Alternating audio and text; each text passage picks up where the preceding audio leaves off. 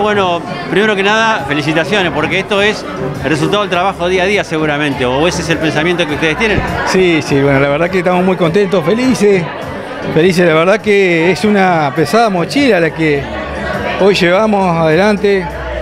Viene a mi memoria siempre quienes nos antecedieron, doctor Carlino, Orlando, ni hablar, Ulises, bueno, yo en este caso, y que hoy estemos festejando una nueva, nuevo acompañamiento de nuestro vecino, de que la Unión Vecinal esté por cuatro años más adelante de la gestión municipal no es poco.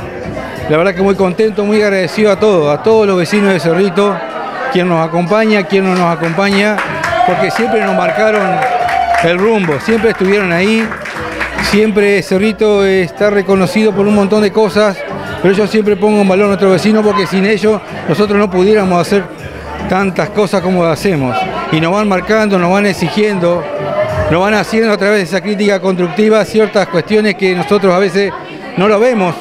En esta vorágine de la gestión, de andar por un lado para otro, no es fácil y ellos siempre están en el presente, así que agradecido a todos, agradecido a toda la comunidad de Cerrito por acompañarnos. Y bueno, la verdad que cuatro años más de gestión, cuatro años más para un querido amigo que se lo merece, porque es un gran trabajador, lo conocí hace muchos años, demostró su gran capacidad de gestión en, en la gestión anterior, ahora silenciosamente, porque eh, trabajó al lado mío como secretario de gobierno, le digo silenciosamente porque también hizo un gran trabajo como secretario de gobierno, con mucha gestión, gran parte de todas las cosas que hemos gestionado, él ha sido, digamos, gran autor y gran acompañante de todo esto, así que se lo merece y realmente le deseo lo mejor.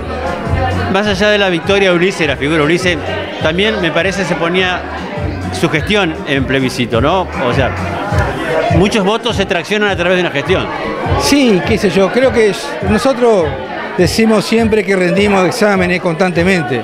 Cada cuatro años rendimos examen. Es más, todos los días rinden examen. Exactamente. Por ahí son más las críticas que los, que los halagos. Exactamente, y creo que eso hace, digamos, a que por ahí eh, uno sienta de que este es un respaldo a lo que se venimos haciendo y que este es el rumbo, que esta es la forma de trabajar, de forma honesta, transparente, siendo claro, con equivocaciones, porque no, no podemos equivocar, pero tratando de tener, digamos, la sensatez necesaria para corregirlo y seguir para adelante, porque de eso se trata. Y contento y felices porque hoy la realidad de la Unión Vecinal está rodeada de jóvenes, veo un montón de jóvenes, van a ver jóvenes concejales que la verdad que van a nutrir de nuevos pensamientos, de nuevas ideas, que ojalá marquen el rumbo y que ojalá, digamos, marquen lo que por ahí quisieron nuestros antecesores, quienes crearon la Unión Vecinal.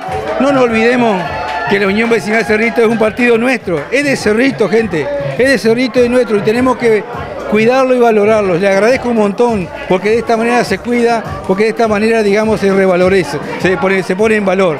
Así que a nosotros simplemente nos queda adoptar esos principios que nos dieron nuestros viejos dormidos, porque ya tenemos varios que, que han marcado y que no están, pero que realmente se han encargado muy bien de enseñarnos. Y nosotros vamos a seguir tratar de trabajar de esa manera y también de enseñarle a esos jóvenes que ahora están empezando a hacer sus primeros pasos en política y en gestión, sean, digamos, quienes van a transmitirle a las próximas generaciones el trabajo de la Unión Vecinal. Y vuelvo a recalcar esto, la Unión Vecinal Cerrito existe en Cerrito y es nuestra, y es nuestra obligación cuidarla.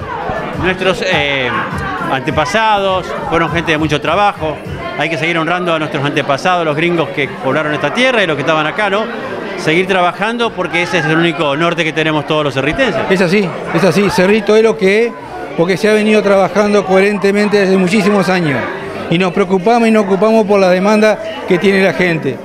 Que nos faltan cosas, sí nos faltan cosas, que tenemos que seguir trabajando, sí, pero la única forma de salir adelante es todo junto.